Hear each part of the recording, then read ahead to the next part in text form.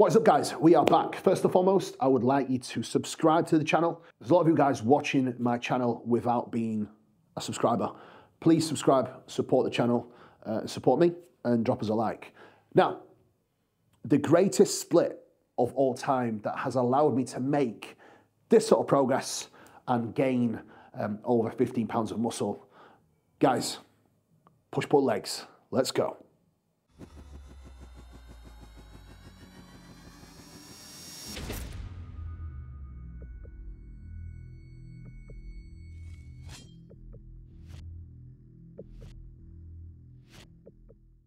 Right, what's up guys? Today I want to share with you my training plan that I have followed pretty much since 2020, um, on and off, uh, throughout entire prep and off season uh, for 2021, 2022, 2023, um, and even the start of 2024. Um, so, the split is push, pull, rest, legs, rest. The reason why I am a massive fan of this split is it's a five day frequency, so it means you're training every single body part across five days. Push sessions, chest, shoulders, tricep. Pull sessions, back, rear delts, bicep. Uh, and then leg day, self-explanatory, quads, hamstrings, um, and calves. Now, push-pull legs can be modified into anything that you wish. Um, it can be adjusted and manipulated in ways to actually bring up your weaker body parts. So you could add different frequency for pull days. So for example, you could structure push-pull, uh, rest, legs, pull, rest, repeat if you needed more back. So just because you are following a push-pull leg split, it does not mean that it is not specific to you. Now, being very much realistic, yes, my back needs bringing up. However, I need more size everywhere. So push-pull legs um, in variation that I am going to show you today um, is an ideal split if you're looking to just get big and strong uh, and, and grow everywhere. Um, how you can be more specific with this um, is by adjusting your volume up and down across each session. Um, so once you've set your volume up as a whole in your program, um, if you need, for example, a little bit more back, but you don't want to change your frequency, uh, you would then add a few more sets onto your back work and pull some sets away from your legs or potentially then push sessions. Um, that's literally as simple as that. If there's any confusion or anything you want me to delve deeper into, comment below. I'm more than happy to help out. Um, now, Let's go on the sessions. Uh, on the screen here, uh, Aaron will actually put the sessions up so you can see for yourself. Uh, we've got variation push A, uh, prime, prim stack, um, cable Y raise. Now, the cable Y raise are normally vary between lying and seated. Um, so that is the bread and butter movement to begin with, followed by incline Smith, high incline strive, um, prime dip, incline cable fly, single arm cable lateral, uh, crossbody tricep extension, a single arm overhead extension, and then Towards the end of my actual off season, I would add a press up, um, and it would be uh, at the end of the session with as many reps as possible. Uh, so that's push A.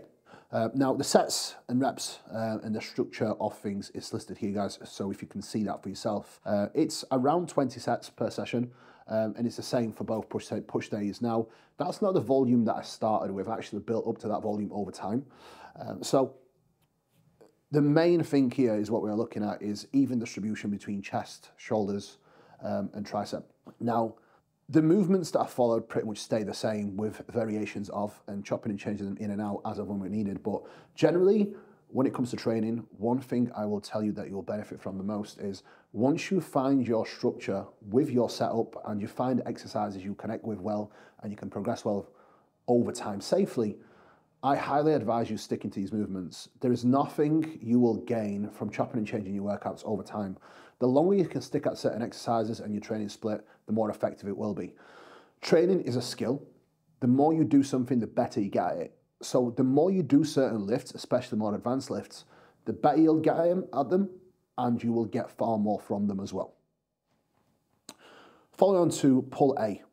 Uh, I always start uh, with some prep work. So it would be hanging leg raise before pull or rope cable crunch before push.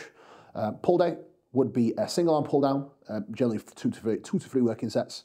Uh, then it will be prime extreme row. Uh, I pretty much ran that for a long, long time. Why? It feels great. I get a good connection with it and I can load it safely. Single arm gym shop row. And then uh, an upper back pull down variation, crossbody pull over. and then I would actually go into bicep. Reason for that is when my back and upper back is torched, I found it quite hard to get a lot out of my rear delts because of the pump that I had across my back. So I found that doing my biceps first and then going to my rear delts, um, I could actually hit my rear delts really, really hard uh, with no issues and no uh, performance decline from fatigue following from upper back work. So it would be uh, overhead cable curl, either on a cable or machine, uh, and then it would be followed up with a dumbbell hammer curl, Nautilus, Nautilus reverse fly three set three working sets. Um, so 21 working sets across that session. Um, that would be pull A. Now leg day. Uh, two variations of leg days. One leg day has a hip hinge, other one does not. Uh, so both my leg days structured very, very differently. So I'll go between uh, legs A and legs B. Uh, and over time, what I found actually is the next time I go into an off season, I will structure this a little bit differently. Uh, but that's a conversation for another time.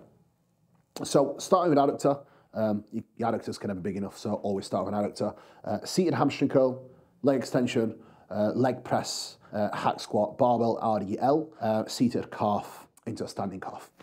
Now, with this session, um, I still wanted to keep a degree of hip hinge in so I can hip hinge every five days, like I mentioned before. Um, training is a skill. Repetition is the mother of skill. So the more you do something, the better you get at it. Um, therefore, if you are quite weak or you're unfamiliar with certain exercise, do it more frequently. You'll get better at it. Uh, that's the reason why I had frequency of every five days from a hip hinge, and it did work pretty pretty well. Uh, as I ended up pulling six plates for reps in peak of my off season, which is the most I've ever done. The reason why I moved my Cybex hack after my leg press, um, I got up to seven plates on Cybex hack for reps with just thin knee sleeves on, uh, no knee wraps, um, and, and to be honest, the stimulus to fatigue ratio ended up getting skewed to the point where I was just getting battered from these sessions. I wasn't really getting as much stimulus as, I knew could get from them. So instead, I started doing leg press in higher rep range, uh, making them really, really hard, um, and then going into the hack squat. And I found that way my legs responded even better. Um, never really struggled with my leg development. So um, 12 working sets total here, uh, not including calves. I don't really count calves. I don't count um, volume from calves or abs. Again, not all volume is created equal, guys. Remember that. What what demand you will get from ab training or calf training, it's very little to none uh, versus what you'll get from uh, big compound lifts. So legs B. Uh, legs B was my hip hinge session. This is where I focused on pulling from the floor. Um, so it was a hamstring dominant session. Uh, adductor to begin with, SLDL to follow that up with. Um, adductor primes you pretty well for a hip hinge. Um, then I went into an SLDL. Uh, then it was seated hamstring curl, leg extension, and then leg press, split squat, and then single leg standing, standing hamstring curl. Um, again, 12 working sets. Um, this was the most challenging session, I would say, because of the amount of work and output I was I was actually giving into the hip hinge work. Um, but definitely very much enjoyed them. Now, as a whole, this programming is something that I will always, always refer back to. Um, I am running a new training program and you should check that out in the next video. But this training setup um, is ideal for anyone looking to build muscle. Um, variations of push B and pull B uh, are pretty much mirror image of push A and pull A. Um, but you'll see that here. It's just a different exercise selection, and what I will go through that for you shortly. However, first I want to kind of talk about program as a whole. It is really a setup that you can be extremely flexible with. So you can have set days with a push-pull leg variation um, and you can adjust uh, depending on what you need to bring up. So let me give you an example. If you need more upper body, um, you could add in an upper session where you could go push-pull, uh, legs rest, um, upper, lower, rest, repeat.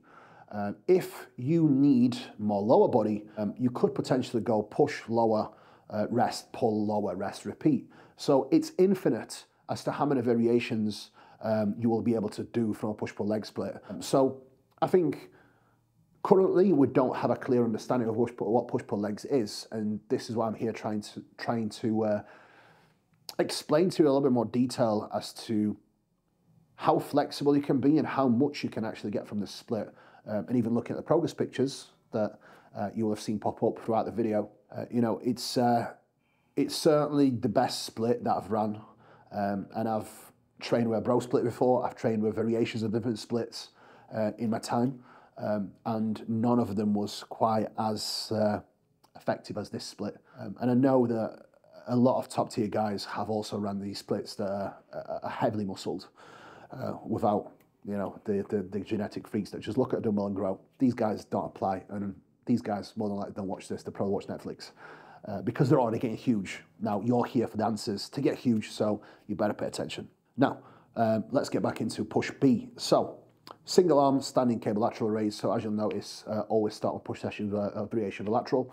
Uh, reason for that is it doesn't take away from pressing, but it primes me well for my presses, and uh, your shoulders can never be big enough.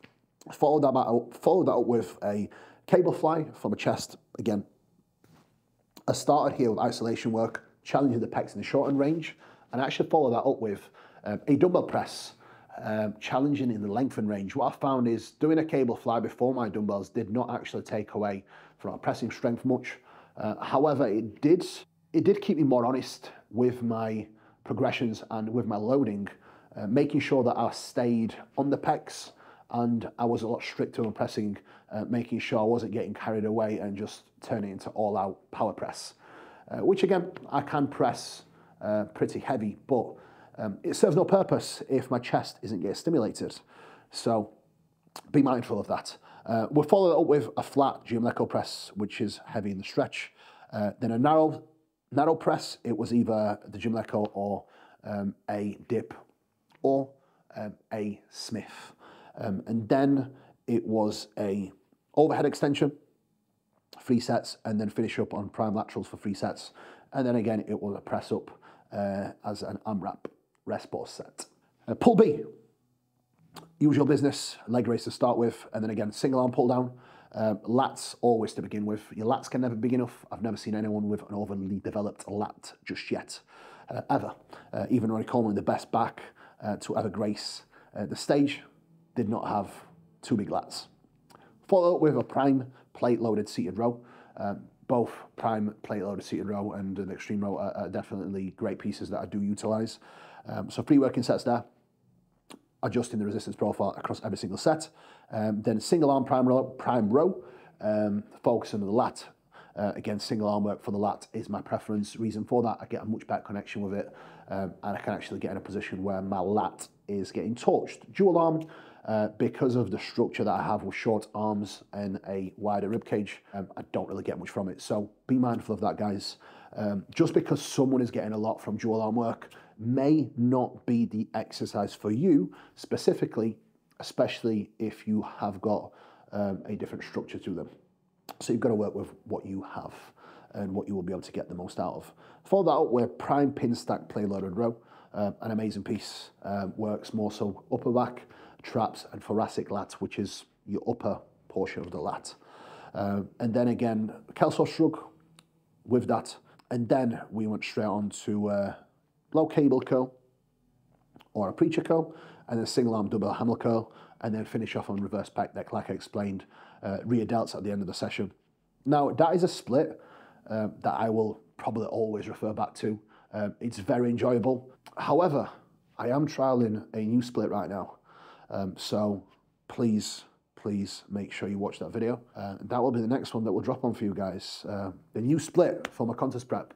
I'm three weeks deep on that split now. It's feeling great. Uh, so far, so far no issues, but I've got no doubts I'll probably refer back to this split because it is the greatest training split of all time. Guys, I hope you enjoyed today's video. Mm. All movements that you don't have, all the exercises that you don't have that I am using, you can swap for like for like movements. Uh, if you're unsure on how, comment below uh, and make sure that you get um, stuck in to your own training and take something away from this. Guys, thank you so much. Uh, please remember to like, share, subscribe, uh, do all the fun stuff to support the channel. Thank you guys. Take care and peace out for now.